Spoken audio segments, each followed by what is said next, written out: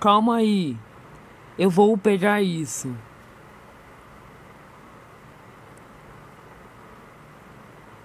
Eu amo você.